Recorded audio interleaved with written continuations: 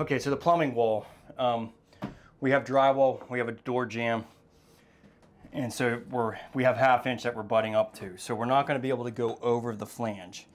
So the way that we're going to address this is just to keep this up just above the flange where it fl flares out. So just holding it up above the flange, and then we'll fill this in with the sealant afterwards. So that basically you don't want to you know, you don't want to bellow it out. You just want to go straight to the top of these fender washers.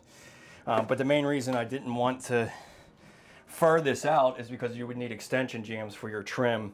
And that's usually a really bad idea for, especially on an inside of a door, because your door latch will hit the extension jamb and it will always take the paint off of it. So it's a really good idea to, uh, you know, prevent from having any type of extension jamb on the inside of your doors.